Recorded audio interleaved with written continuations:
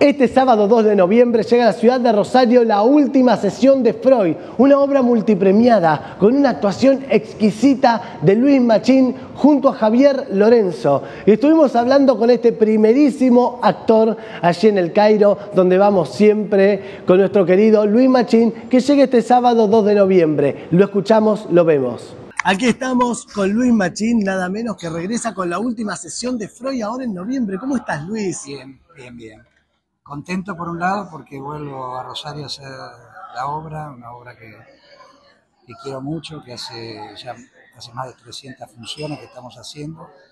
Y por otro lado, bueno, un poco también triste porque ya vamos terminando, ¿no? Pero bueno, está bien, las cosas van cumpliendo su ciclo. Es la tercera vez que venimos a Rosario. Siempre nos ha ido muy bien, así que estoy muy confiado de que esta que será la última sesión de Freud la última vez también sea como fueron las anteriores. Ahora, vuelven y estuvieron viniendo, sobre todo desde el año pasado, este año también de una forma constante. Durante dos años estuvieron viniendo varias veces a Rosario. ¿Por qué creen que la gente sigue eligiendo esta obra? Porque te interpela, porque te, hace, te hace generar nuevas preguntas. O que toda la, toda la gente que tenga sensibilidad e interrogantes en su vida sin duda que este diálogo entre Luis y Freud en algunas cosas echará luz, en otras cosas generará más interrogantes, pero creo que eso es lo que mantiene vivo el espíritu de que a la obra todavía se siga asistiendo con, tan, con tanto deseo, ¿no? porque eh, puedo asegurar, vos lo has visto, cómo termina la gente al final de la obra, es muy conmovedor, la gente aplaudiendo de pie, muy conmovida, algunos llorando, otros que vienen y te hacen comentarios en, las redes, eso es muy, muy estimulante para nosotros. Ahora, hay algo que es muy visceral en los momentos de esta obra, hay algo que es muy profundo, llegado un momento, todo lo es, pero hay momentos que son más desgarradores que otros. De todas las veces que hiciste esta obra, ¿cuáles son esas cosas nuevas que vos vas encontrando en este desafío como actor?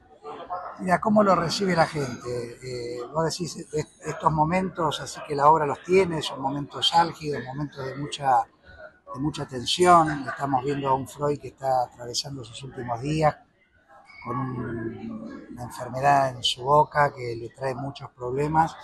Eh, pero más allá de las dificultades que tenía este hombre para sostener con creencia todo lo que sostenía y para ver descubierto lo que descubrió el inconsciente y lo que significa el psicoanálisis para nosotros, para todos los seres humanos, este, este, este gran hallazgo de Freud, es, eh, es, permanente la forma, la recepción que la, que la gente tiene de, escuchar este texto y de ver estas, estas interpretaciones. En lo personal me siento muy orgulloso, sé que, que mucha gente va a tratar de ver a, de alguna manera el Freud que estudió, el Freud que leyó, cosas que dicen la gente, ¿no? Yo esto lo comento porque la gente viene, de repente te abraza y te dice, uy, pude ver a Freud, e-, es el Freud que yo, que yo imaginé.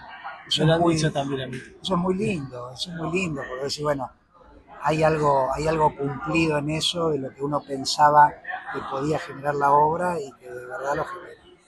Así es, y no puedo dejar de preguntarte, Luis, por la ciudad de Rosario. Cada vez que venís, que venís bastante seguido, pero te encontrás con tus raíces, con tus entrañas, con lugares como el Arteón, como la cancha de Newell's, también varios, varios lugares y varios sentimientos que te resuenan internamente. Sí, sí, sí, sí, siempre es, siempre es grato, ¿no?